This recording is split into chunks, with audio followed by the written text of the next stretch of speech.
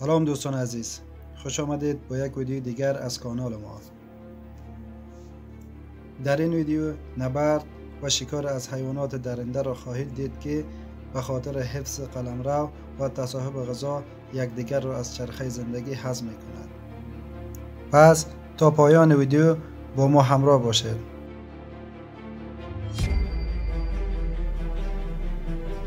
گله از سگهای وحشی اوقات این شیر را بر هم می‌زنند.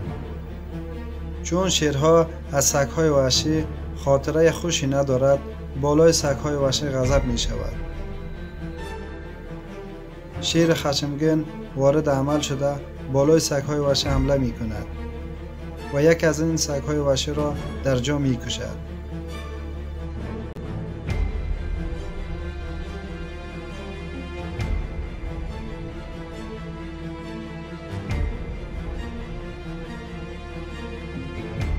این شیر نر برای پر کردن شکم گراز را زیر نظر گرفته است. او می‌داند گراز وحشی خود را در زیر زمین مخفی کرده است. شیر زمین را می کند ولی دستش به گراز نمی رسد. چون گرسنگی بالای و فشار آورده است تصمیم می گیرد دوباره شانسش را امتحان کند. این بار تلاش های شیر نر نتیجه می دهد. و گراز وحشی را از زیر زمین بیرون کشیده او را شکار می کند.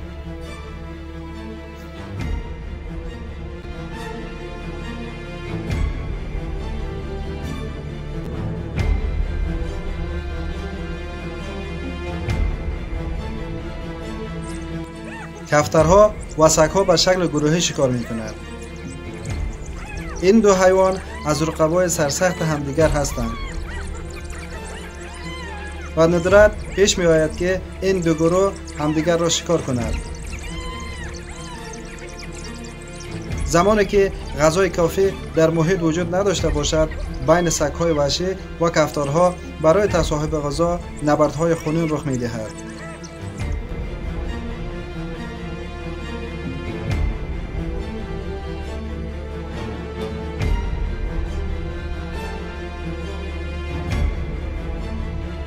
گورکن یک از خطرناکترین حیوان روی زمین می باشد.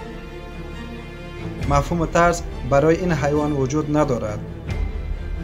او همواره با شکارچیان بزرگتر از خود مانند شیر، کفتارها و دیگر حیوانات درگیر می شود. استقامت گورکن هنگام نبرد نیز بالا است. او آنقدر به نبرد ادامه می دهد که دشمن از کار خود پشیمان شود. این حیوان بسیار باهوش هستند. زمانی که فرار غیر ممکن باشد با تمام وجود و بدون ترس با حیوان مهاجم وارد نبرد می شود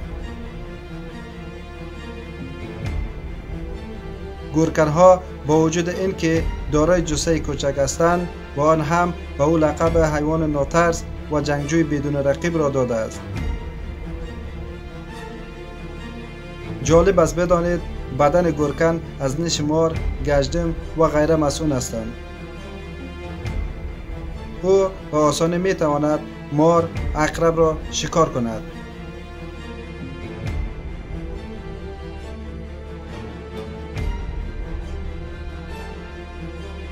در گله شیرها شیر نر گله را رهبری می کند و دیگر اعضای گله از او فرمان برداری می کند. اما شیرهای نر به این سادگی نمی‌تواند به ریاست گله برسد.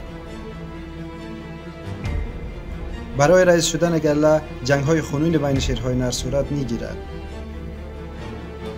در نهایت شیر برنده ریاست گله را بر عهده می‌گیرد.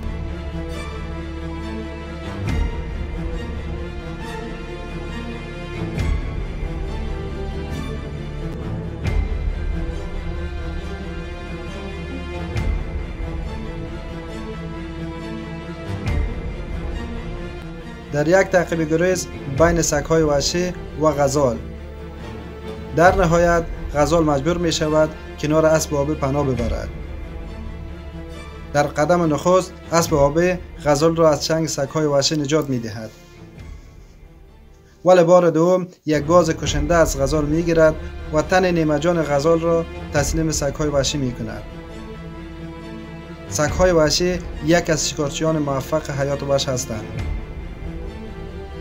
آنها همواره به شکل گروهی شکار می کند سگهای وحشی وقت تومه را پیدا می کند از چپ راست به او حمله می کند سگهای وحشی یک از بیرمترین شکارچیان حیات وحش می باشد